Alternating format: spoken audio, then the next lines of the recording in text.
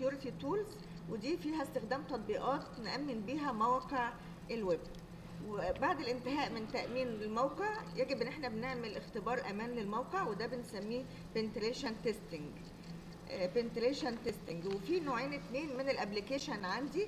آه، نوع منهم اسمه OpenVAS والنوع التاني اسمه Netsparker النوع الأولاني ال OpenVAS ده وده open source application يعني تطبيق مفتوح المصدر وده بنستخدمه علشان تجنب كتابة كود عبر الموقع. آه النوع التاني عندي اللي هو نت آه النوع OpenVAS ويعتبر من ال open source program ال open source program بيستخدم لاختبار أمان الموقع. ال Netsparker وده جيد جدا لاختبار injection and XSS وده لتجنب كتابة كود عبر الموقع.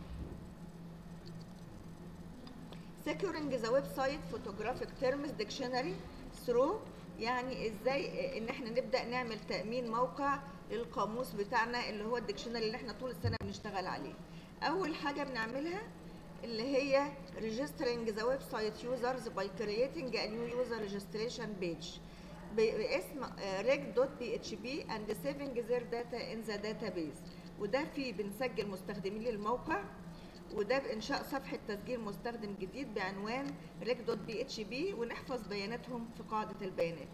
Number two confirm confirming the login to allow the insertion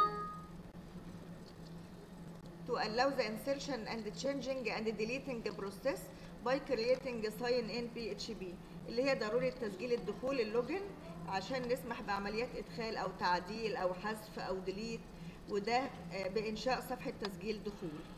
number 3 in, in encrypting any user password اللي هي تشفير كلمة ال password بتاعتي الخاصة بأي user هيستخدمه.